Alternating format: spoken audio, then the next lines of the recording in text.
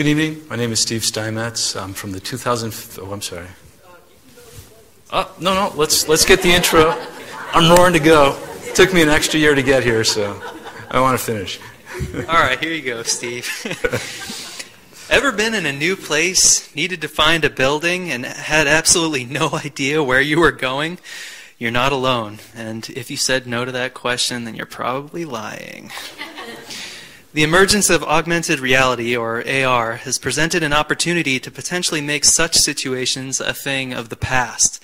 The inclusion of modern GPS devices in phones combined with GIS data and a visual screen on a smartphone has opened up this area to wild possibilities.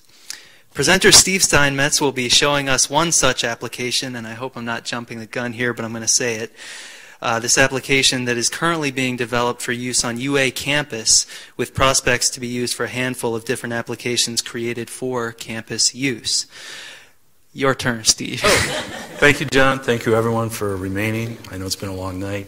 Um, my project this evening, as John just so nicely introduced, is create an augmented reality application for the iPhone. Um, well, we'll get started here. This evening, uh, I'm going to do an introduction and definition of what augmented reality is. I'm going to describe my objectives, uh, discuss the data very briefly, uh, the technologies involved, the methodology for how I'm going to do this, a demonstration of the application itself, and a conclusion and credits. Augmented reality, or AR, is an enhanced version of reality created by the use of technology to overlay digital information on an image of something being viewed through a device such as a smartphone camera. My geographic area of interest is the University of Arizona. Here's a campus map showing the points. There's 248 buildings or points of interest in my case to be geolocated, annotated, and plotted. Augmented reality is uh, when augmentation superimposes names and distances onto campus buildings and provides directional feedback. Here you see the AR markers, each containing a specific building's title, bearing, and distance relative to the user. At the bottom of the screen is uh, the navigation bar displaying the user's heading. My objectives were to develop an AR iPhone application to navigate the UA main campus by determining the user's geographic location, retrieving the data based on their coordinates, and then overlaying the data on the phone's video output.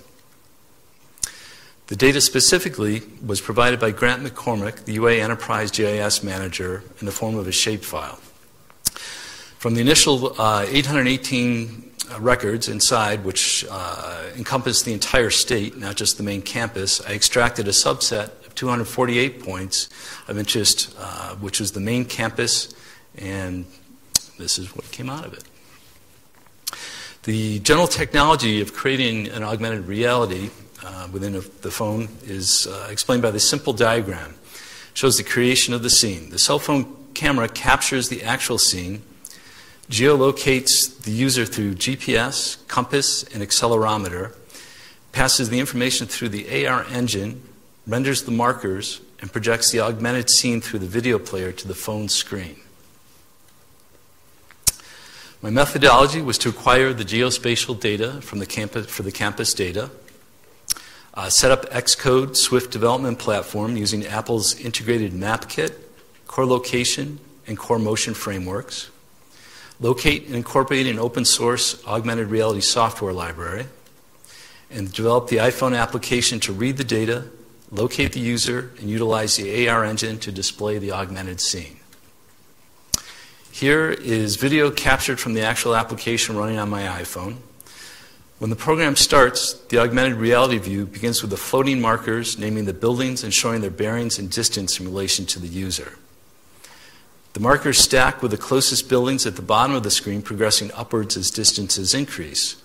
This way, the end user can quickly estimate distance and direction to their target.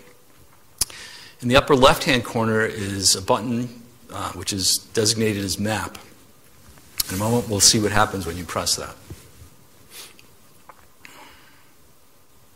It brings up the alternate view, um, which uh, is an overhead satellite view of the UA campus, centered on the user's present location and incorporating pushpin style markers.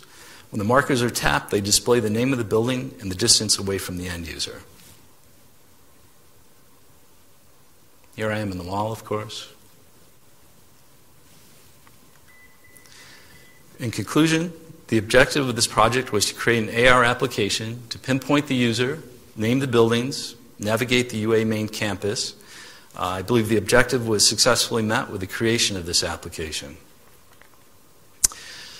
For further development, there's really endless possibilities. Um, as John also mentioned, we can expand the functionality to include improved navigation, uh, broaden the area covered, add additional points of interest, the various vegetation found in the campus arboretum, for example, uh, develop platforms for other products other than the apple, and, and this is the credits. It's a nice brief presentation. University of Arizona uh, MSGIST program, thank you. Uh, Chris, John, and Jennifer, thank you for your ideas and your encouragement. Uh, Grant McCormick and Navid Ahmed for supplying the data and invaluable assistance. And uh, Danijel Huis uh, from Croatia for his open source AR library. Any questions?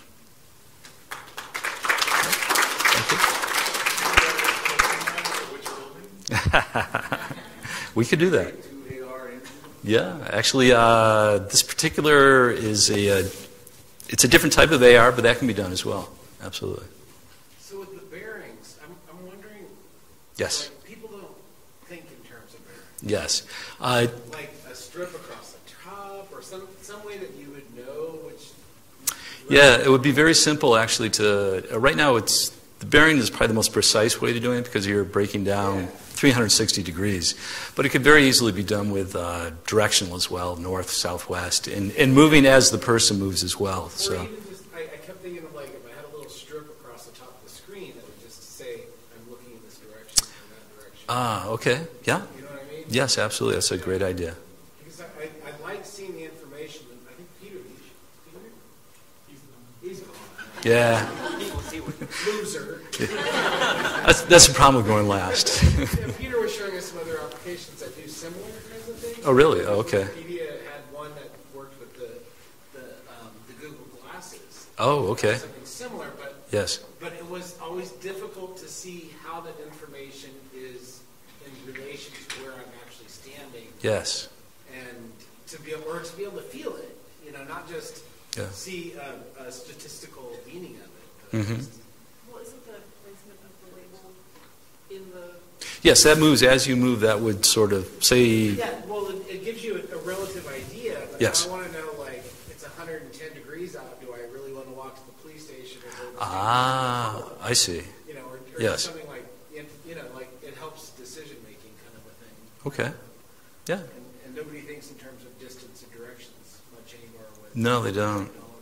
Technology. It's going to take me three minutes to get there, or five minutes, and it's 120 degrees out. Yeah. No, that's a good point. Thank you.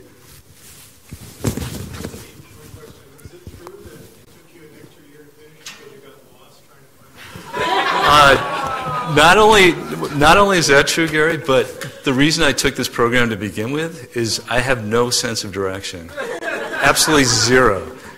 So maps are yes, maps are very important for me, but that's true.